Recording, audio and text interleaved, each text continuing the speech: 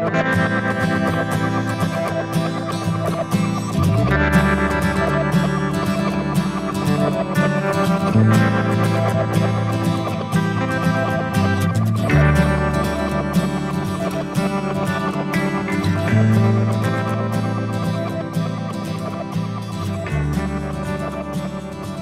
I'm Jay Nehf, thoroughbred trainer in Southern California, with a little report on Big Hoof Dynamite. He ran a very strong second the other day. He uh, ran the fastest final quarter mile of the uh, field. And uh, if we had a little more real estate, I think he'd have been right there. Uh, we had an excellent jockey, Flavien Prat, and he agreed. He wants to see this horse go back to a mile on the dirt. And there is a race coming up on Monday the 20th. Now, we raced on January 1st.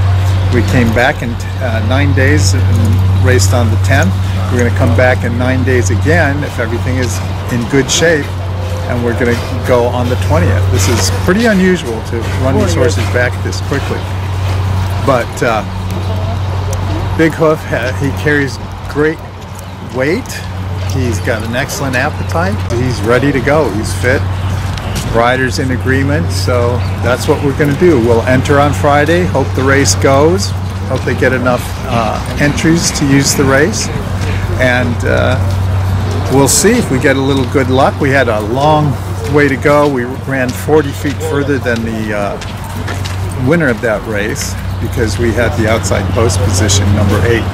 So uh, hope we can get a little better post position next time. So again, thanks for watching. Subscribe if you haven't, and good luck at the races.